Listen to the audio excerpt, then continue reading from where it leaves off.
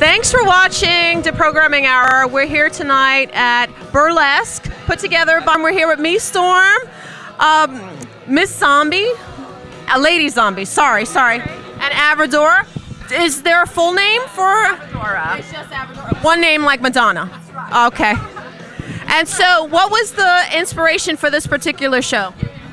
Um, rock and roll and burlesque and um, um, what's the word I'm thinking It's of? called fun. Fun. That's right. Sex, fun, and humanity. Oh, humanity. Okay, Yeah. all New. York City is going to be fun still. Even though it's expensive, we're going to have fun. We're and gonna- is fabulous. Look at him. Look at him. His hair. I didn't introduce you, Gerry. Do you want to introduce yourself? My name is Gerry Visco, and I'm crazy. And you're also a journalist and a burlesque performer. Actor and photographer. I don't even know what I do. All I know is I don't sleep. Renaissance lady, Renaissance lady. Lady Zombie, you fashion your acts after horror and glamour, is that right? That is true. I do a lot of like two sides of the same coin type of thing. That's why Lady Zombie comes into play. A little bit of glamour, a little bit of the dark side. I enjoy everything and I try to put that forward when I get on stage. I enjoyed your performance very much. Sex pod. Look at her. For sure, for sure. You gotta, you gotta see the. You have to watch the episode to see the back of her dress and her awesome tattoo. And I don't know if you, the camera can catch it, if you can zoom in, but she has real vampire teeth. Avadora, this is the first time I've met you. It's good to meet you. Can you tell us about your act and, and what brought you to burlesque? Well, in actuality, I just, um, uh, after 10 years of not performing, I just uh, started performing and decided to come to the Glamour Awards. And I met uh, Tommy and Miestorm, and they were fabulous to invite me over. And um, since then, I recorded three songs, and this was my last single, and I had a fabulous time. Everybody was amazing. That was awesome. I didn't realize that that was an original. That's really impressive. Yeah. Yeah. yeah. That one, this single came out last week. It's called Look, and you can buy it on iTunes. Okay. At Miestorm, how did you bring everybody together? We know a lot of great entertaining people, entertainers. You know, I mean, and they we all love each other. That's it. It's it's the love. It's love. Such a romantic. and we're real. It's creativity. It's creativity, creativity. And being like really organic in New York City. You know what? I felt like such freedom of expression that once I stepped on after watching all the performers, I wasn't nervous anymore. So that was really a great. So so burlesque is secondary to the music for you.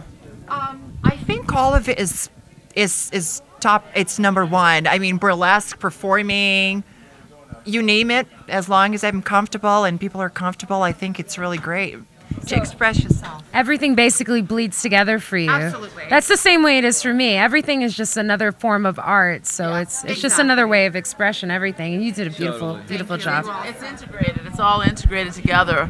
Like we all have like so many different. uh, it- When you're a real artist, you like do so many different things, and you just create and have fun and uh, express yourself. And that's what Yeah. this was tonight. Yes. Seriously, I mean, all of it was. The art returns to New York City and Greenwich Village for once. Well, you know, we're trying to keep it alive.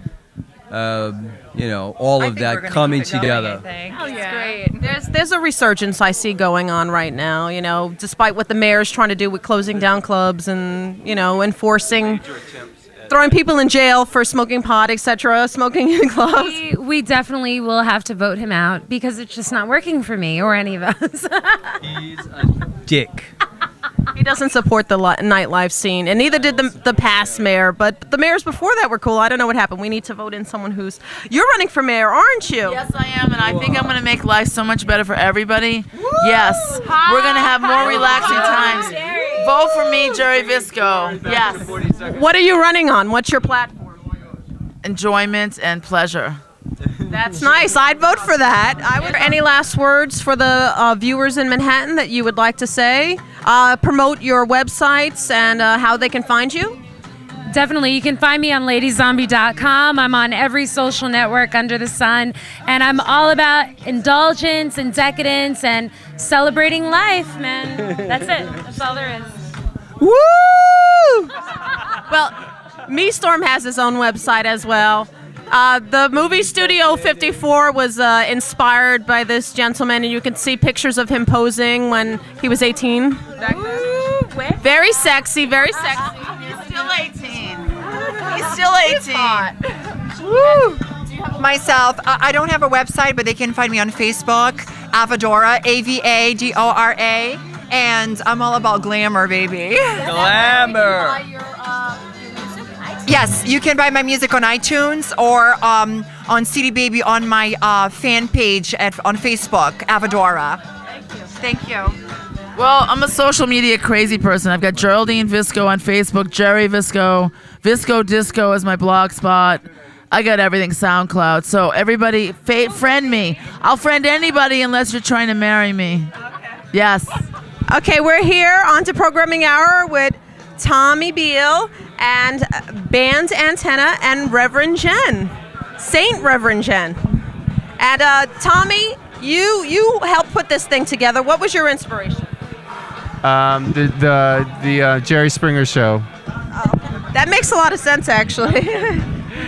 No, the the, ins- the, the inspiration the inspiration is based on you know the artists that, that we um, get together to do the show.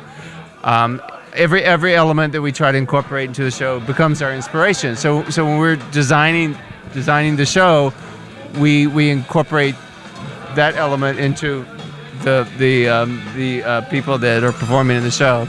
That makes sense. my brother as soon as you left. I left the trailer, didn't you? Yes. Ian, you were actually I had actually met you before, but I didn't know you were in a band. You were at my Halloween party, actually. gave birth tonight. Or you know. I missed that part. I must have been in the bathroom. It was a couple days ago. Um, tell us about your band and like how long you guys have been together and the inspiration for the music.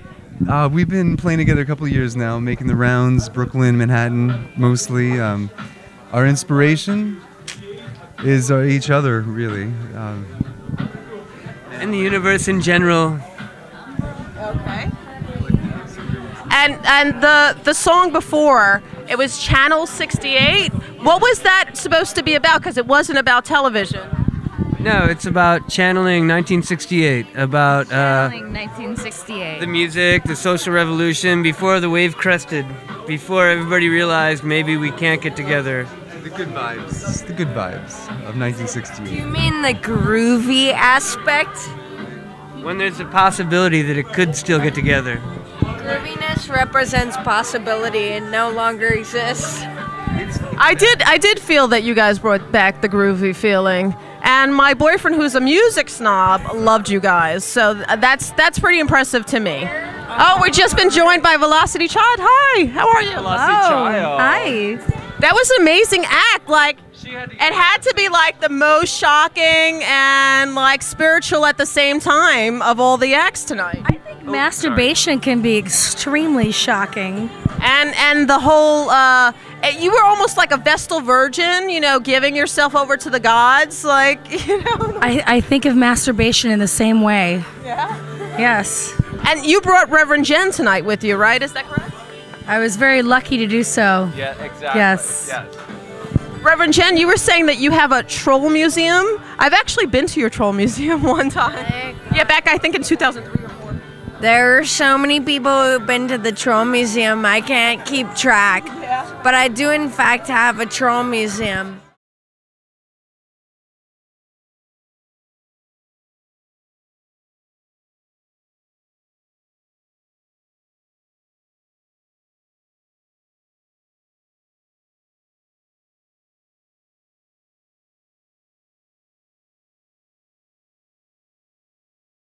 Reverend, what what what is your um, ministry? Well, kind of the church of the open mic. I don't really do it at all, but I do have an open mic the fourth day of every month. Am I stepping on that? No, it's just that your your your worship powers are just you know channeling the mic. I think um, so. Tomorrow night, I'm actually doing a show at the Tenement Museum. How cool is that? It's, it's extremely cool. I'm doing a reading on Orchard Street. Yeah, I know where that is. My book, Elf Girl. And do you have your little ears on? No, I'm kind of dressed as a different, A different lunatic. bride. See, that you missed it. It was a it was a phone that could masturbate yourself. Holy mother of God.